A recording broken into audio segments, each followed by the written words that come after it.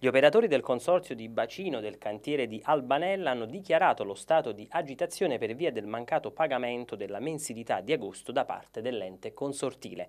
A spiegare nel dettaglio la situazione il segretario regionale della Filas Domenico Merolla. Uh, il problema che riguarda i lavoratori del cantiere di Albanella oramai si protrae da un anno. C'è una doppia problematica. La prima che è quella del pagamento degli stipendi è circa un anno che i dipendenti di Albanella che lavorano sul comune non riescono mai a prendere lo stipendio nei tempi e nei modi giusti. A volte siamo arrivati anche con due mesi di ritardo, oggi siamo al 25 settembre che non hanno preso ancora lo stipendio di agosto, mentre tutti gli altri 250 colleghi sono stati regolarmente retribuiti.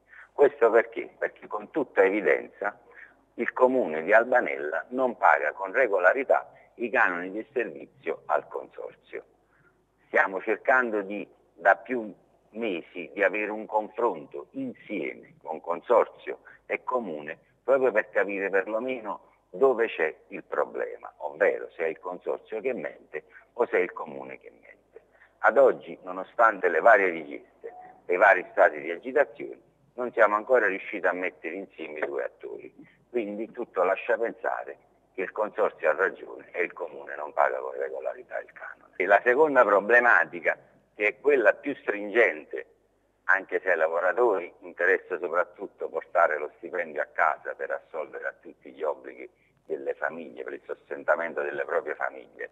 C'è un'altra problematica, il Consorzio ha dichiarato, ha formalizzato a tutte le istituzioni che al 30 settembre non sarebbe più stato in grado di gestire i servizi.